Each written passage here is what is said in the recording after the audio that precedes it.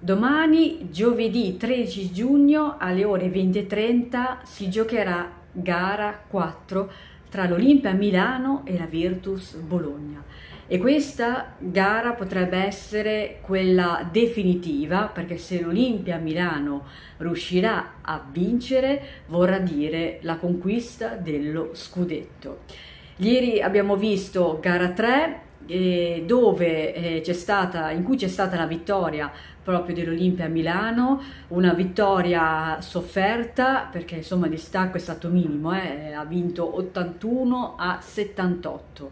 Eh, quella di ieri è stata veramente una gara molto difficile, bella combattuta e, e quindi eh, vedremo domani eh, come finirà.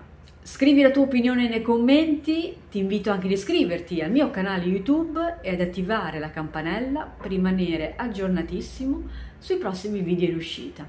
E noi a questo punto ci vediamo al più presto con un nuovo contenuto. Ciao!